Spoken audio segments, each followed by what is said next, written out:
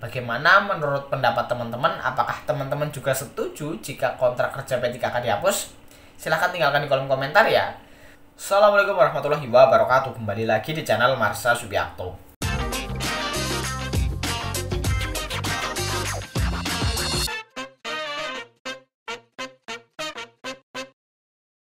Pada kesempatan kali ini kita akan kembali membahas informasi menarik Kali ini tentunya kembali terkait dengan P3K atau pegawai pemerintah dengan perjanjian kerja. Dan kali ini kita akan coba kembali bahas berkaitan dengan masa kontrak kerja P3K. Jadi sebenarnya kemarin kita sudah sempat membahas berkaitan dengan hal tersebut ya. Dan ternyata mendapat banyak respon positif dari para P3K. Para P3K setuju jika kontrak kerja P3K dihilangkan Artinya mereka tidak harus memperpanjang kontrak setiap tahun, setiap tiga tahun ataupun setiap lima tahun. Jadi anggapan para P3K jika tidak ada perpanjangan kontrak, tentunya mereka bisa lebih tenang dalam bekerja karena tidak was-was jika kontraknya akan habis. Dan tentunya dengan kondisi ini mereka bisa bekerja lebih maksimal. Dan kali ini kembali ada berita menarik berkaitan dengan masa kontrak kerja P3K tersebut jadi inilah alasan kenapa masa kontrak kerja P3K harus dihapus. Kali ini kita akan coba lihat beritanya, untuk itu bagi yang penasaran, simak terus. Oke, bismillahirrahmanirrahim, langsung saja kita mulai. Jadi inilah berita atau informasi berkaitan dengan alasan kenapa masa kontrak kerja P3K harus dihapus atau dihilangkan. Diberitakan oleh radartasik.id Judulnya 5 alasan mengapa masa kontrak P3K harus dihilangkan. Kita coba bacakan ya. Masa kontrak P3K harus dihilangkan bukan saja karena tidak memiliki jaminan hari tua, akan tetapi juga didasarkan pada beberapa alasan lainnya.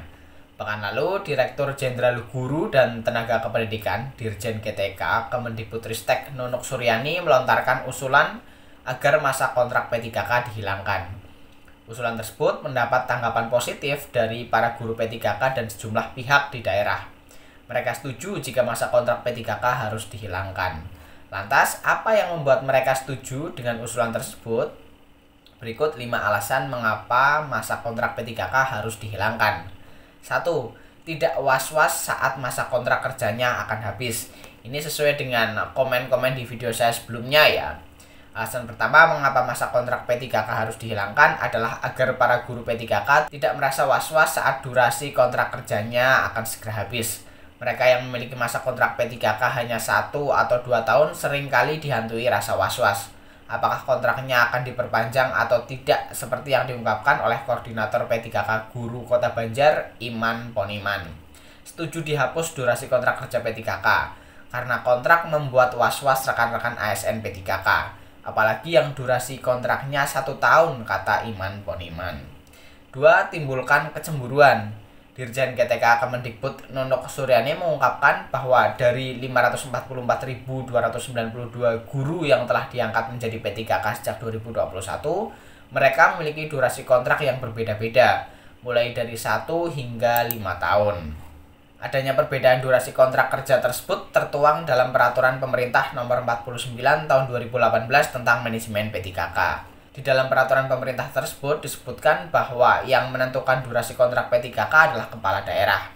Oleh karena itulah kemudian muncul perbedaan masa kontrak kerja yang menimbulkan kecemburuan di antara para guru P3K.